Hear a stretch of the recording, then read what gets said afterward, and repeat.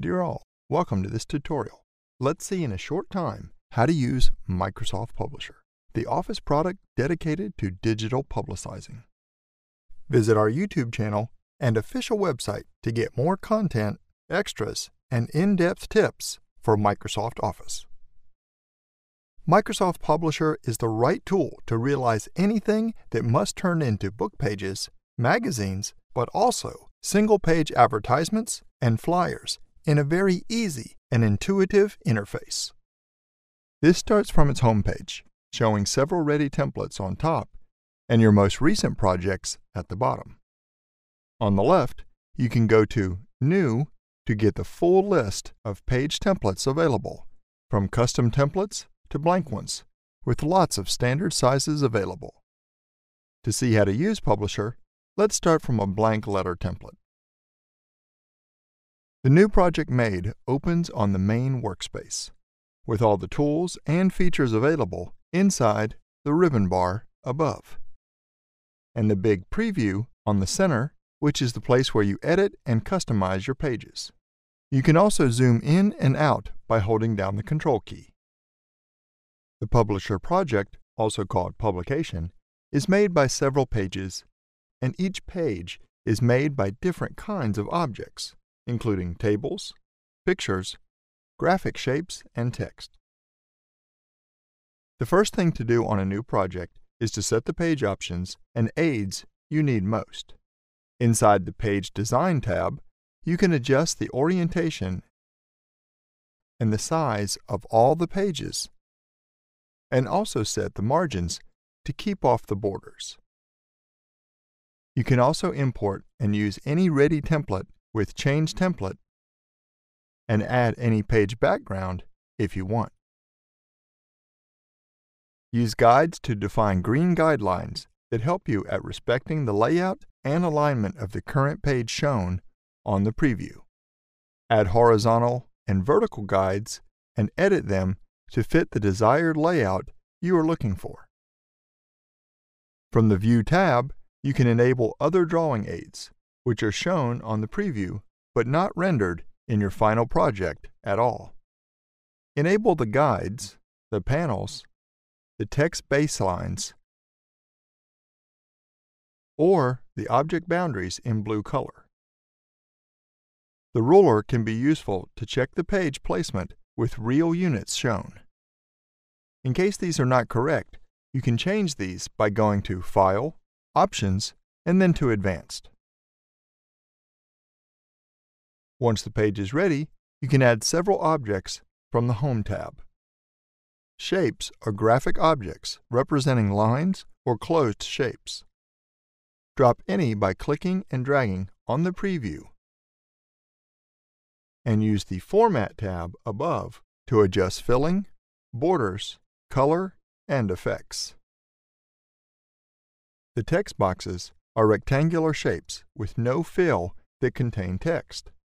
With Draw Text Box, click and drag to create a text box, which delimits where its text content can spread and distribute. Then, type in and use either the drawing tools to adjust the text box as a shape, or the text box tools to set all the text properties such as font, style, size, filling color, and any outline.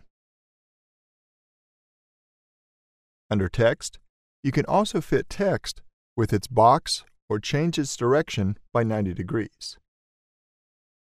Inside Alignment, you can set the text alignment, apply multiple columns, or safe margins within the text box.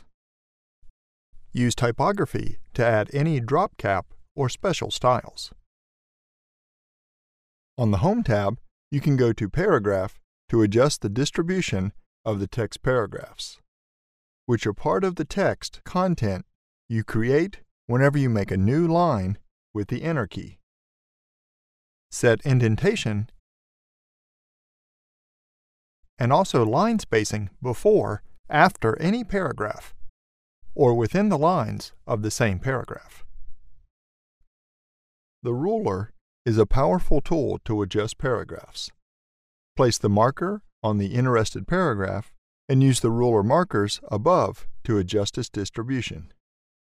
Use the left and the right markers to adjust margins, and half of the left marker to set the margins of either the first line or the other lines of the paragraph. When the text box is too small to show all the text content, it gets red nodes and a dots button. You can use the first ones to resize the box enough, or click on the dots to choose where to extend the missing text content, such as an existing text box, any shape, or a new text box where you like most. These two objects get linked, showing the text content from the first text box to the second object through their arrow button. These objects can be placed on the same page or on different pages. Besides shapes and text, you can also add tables after defining rows and columns. Type in its cells and use the Design tab above to adjust appearance, color, borders, text properties, and the Layout tab to manage the table columns, rows, and alignment.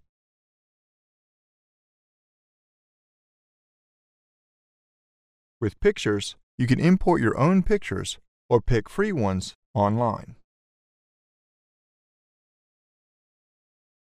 Use Format to correct the appearance, add borders and effects, or include ready pieces of text as captions. Enable Crop to crop the image.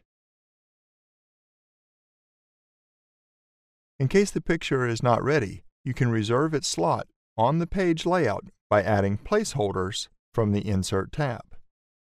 These are transparent images that you can autofill by dragging any picture on it. This can also be done between two images. You can import external files inside the pages as you do with pictures. You can open these by double-clicking on their icon.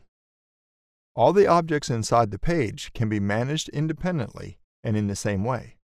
Click on any object to select it and drag it to move, holding down the Shift key to go horizontally and vertically.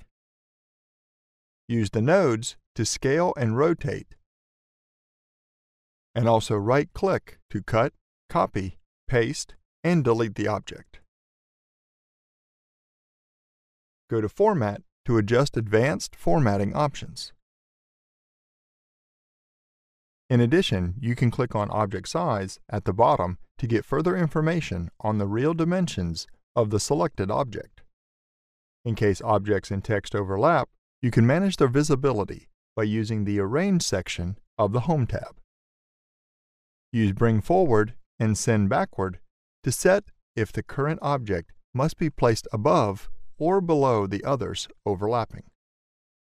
Whereas use Wrap Text to set how the text must distribute when the current object meets it. From the Insert tab, you can also import complex objects ready to use, such as page parts, calendars, page borders, and advertisements. All these are called building blocks, which are multiple shapes, text boxes, and objects grouped together. In this way, you can move and edit all these objects in one move. These are ready building blocks, but you can create your own ones by selecting all the interested objects by holding down the Control key, right-clicking, and going to Group. Within the building block, each object is delimited by nodes with crosses and can't be moved, unless you ungroup the whole block first. On the left side, you have the Pages navigation panel with all the pages of your publication. You can right-click on any vacant space to create new pages and click on any page to show it on the preview. To change the order between pages, just click and drag these within the list. Besides these standard pages, you also have the master and the catalog pages. The master pages are used to repeat their content on multiple pages of your project. For example, You can add any header, footer, or page numbering on this master page. To repeat these on all the pages of your publication without doing this manually on each page. You go to View and then to Master Page to show all the master pages available. You can also add any header, footer, but also any object you want to repeat. Then, on Apply To, choose where to apply the content of the master page, on all pages or on selected ones. Use Close Master Page to come back to the normal page preview. Whereas the catalog pages are used to create full lists starting from a .mdb access database. We won't see this in this simple tutorial. Once the publication is ready, go to File, Export, to export it in several printable and digital documents, such as .pdf, .html, or as .pub, to reopen it on Publisher and edit it anytime.